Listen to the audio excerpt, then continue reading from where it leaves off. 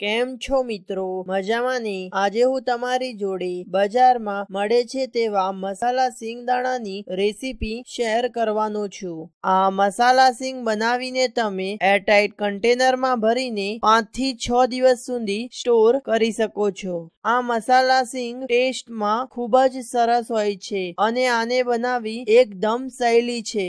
તે કેવી રીતે બનાવવાની એ હું તમને ડુરિંગ ધ રેસીપી શીખવાડતો જઈશ. જો તમને વીડિયો પસંદ આવે તો લાઈક શેર અને કોમેન્ટ કરવાનું બિલકુલ ભૂલતા નહીં અને ચેનલને સબસ્ક્રાઇબ કરવાનું બિલકુલ ભૂલતા નહીં. હવે મીડિયમ ફ્લેમ પર એક ફ્રાય પેન ગરમ કરવા માટે મૂકીશું.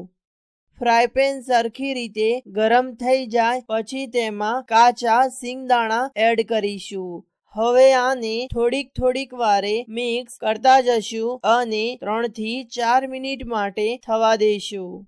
મેં અત્યારે એક કપ સિંગદાણા લીધા છે. ગ્રામમાં જુઓ તો આ બસો ગ્રામ જેટલા સિંગદાણા છે. ત્રણથી ચાર મિનિટ થઈ જાય પછી સિંગદાણા આ રીતે શેકાઈ જાય પછી તેમાં બે ચમચી તેલ એડ કરીશું. હવે આને થોડીક થોડીક વારે મિક્સ કરતા જશું અને એક મિનિટ માટે થવા દઈશું એક મિનિટ થઈ જાય પછી ગેસની ફ્લેમ બંધ કરી દઈશું અને આ સિંગદાણાને એક ડીશમાં નીકાળી દઈશું હવે આ સિંગદાણામાં મસાલા એડ કરીશું. એક ચોથાઈ ટીસ્પૂન હળદર એડ કરીશું. અને તેમાં એક મોટી ચમચી કાશ્મીરી લાલ મરચું પાવડર એડ કરીશું. પછી તેમાં એક ચમચી ધાણા જીરું પાવડર એડ કરીશું. હવે તેમાં અડધી ચમચી ગરમ મસાલો એડ કરીશું. પછી તેમાં એક ચપટી જેટલી હિંગ એડ કરીશું.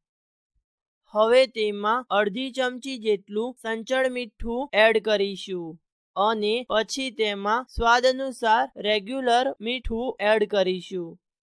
હવે આ સિંગદાણા અને મસાલાને સરખી રીતે એકવાર મિક્સ કરી દઈશું.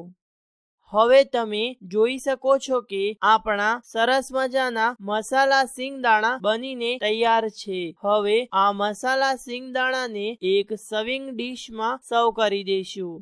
હલો ફ્રેન્ડ આજની આપણી રેસીપી બજારમાં મળે છે તેવા સરસ મજાના મસાલા સિંગ દાણા બનીને તૈયાર છે. Thank you for watching my video હવે મળીશું કોઈ નવા વીડિયો અને નવી રેસીપી સાથે. Bye.